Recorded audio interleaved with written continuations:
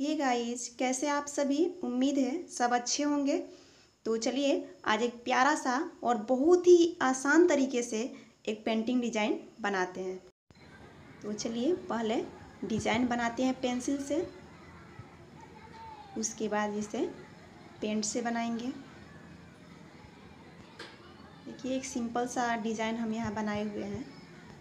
यदि आप चाहें तो अपनी मर्ज़ी से कोई भी डिज़ाइन बना सकते हैं, फिर उसे मेरे बताए हुए तरीके से आप पेंट करके एक खूबसूरत सा लुक दे सकते हैं।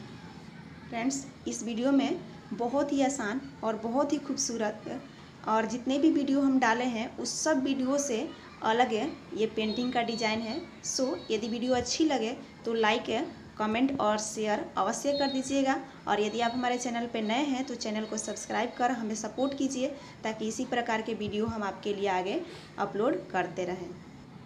और यदि आपके मन में पेंटिंग से जुड़ा हुआ कोई सवाल है तो आप कमेंट बॉक्स में कमेंट करके पूछ सकते हैं। आपको आपके प्रश्नों का जवाब अवश्य मिलेगा।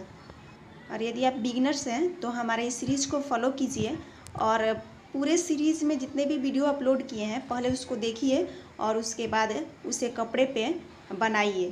क्योंकि बिना प्रैक्टिस किए यदि आप चाहेंगे कि वीडियो देखकर हम पेंटिंग सीख जाएँ तो ये इम्पॉसिबल है।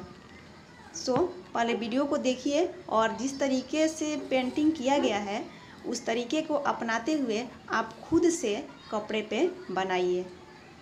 और यदि आप हमारे इन सारे वीडियोस को फॉलो करते हैं और प्रैक्टिस भी करते हैं तो मेरा यकीन मानिए कुछ ही दिनों में आप बहुत अच्छे से फैब्रिक पेंटिंग सीख जाएँगे।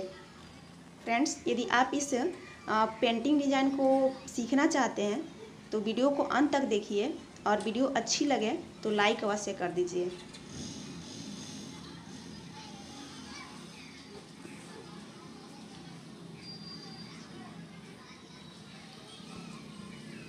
तो अब हमारा डिज़ाइन तैयार है। चलिए इसे पेंट करते हैं।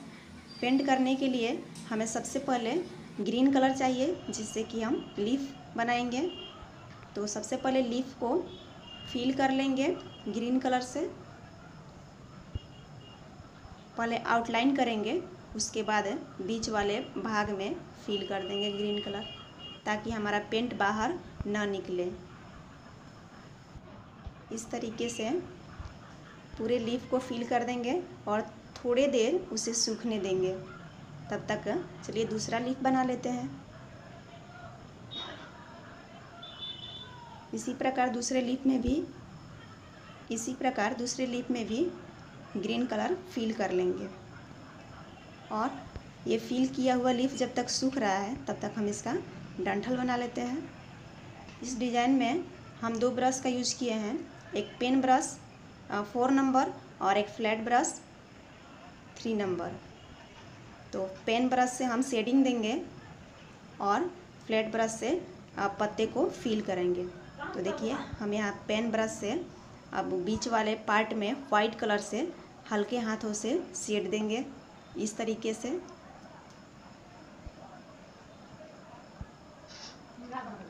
बिल्कुल हल्के हाथों से शेड देंगे। ऊपर की तरफ़ ये लिप बनाने का जो तरीका है, बिल्कुल नया है। ये तरीका हम आप लोग के साथ है। किसी और वीडियो में शेयर नहीं किए हैं, सो अभी सोचे कि चलो इसमें इस तरीके से लिप बनाते हैं। मैं कोशिश करती हूँ कि अपने हर वीडियो में कुछ आपको नया दूँ। सो आप कमेंट करके बताइए कि आपको ये तरीका कैसा लगा। देखिए, बहुत ही प्यारा दिख रहा है ये लीफ तो चलिए ग्रीन पार्ट कंप्लीट हो गया। अब फ्लावर बनाते हैं। सबसे पहले आउटलाइन करेंगे इस तरीके से। मैंने यहाँ पे मेहरून कलर लिया है। आप चाहें तो कोई भी डार्क कलर ले सकते हैं। और ऊपर से शेड देंगे नीचे के तरफ़ इस तरीके से। और नीचे वाइट कलर फील कर देंगे।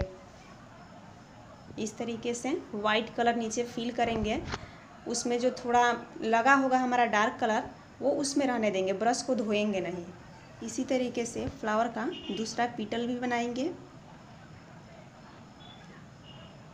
स्टॉक देते हुए, यानी शेड देते हुए, ये ध्यान में रखेंगे कि शेड उधर ही देंगे, जिधर फ्लावर का जो पीटल है, वो मुड़ा होगा। उधर ही मुड़ाते हुए सेट देंगे तो हमारा जो फ्लावर होगा, उसका लुक अच्छा आएगा।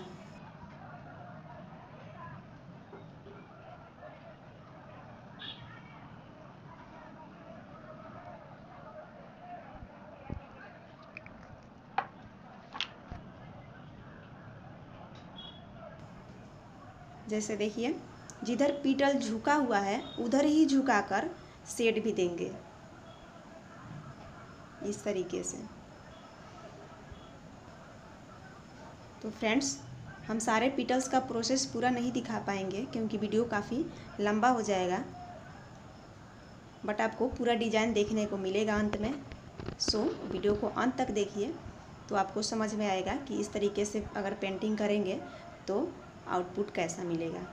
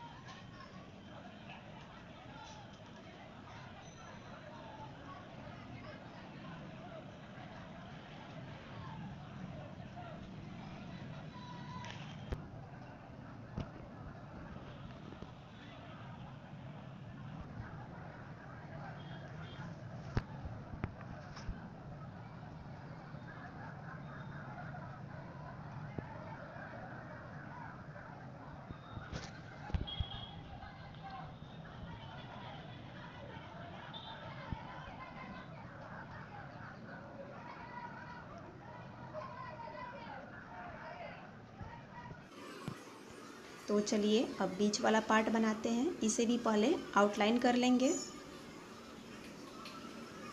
और सेम प्रोसेस अपनाएँगे। यहाँ भी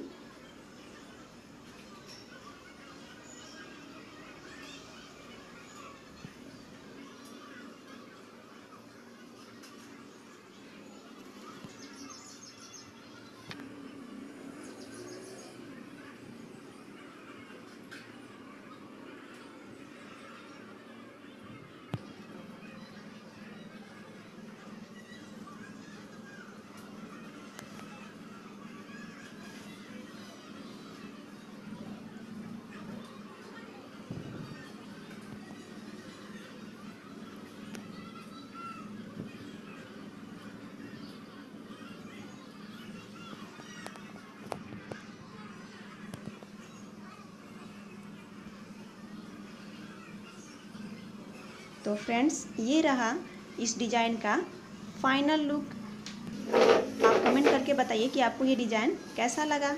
फिर मिलेंगे अगले वीडियो में। तब तक आप हमारे वीडियोज़ को देखकर प्रैक्टिस करते रहिए।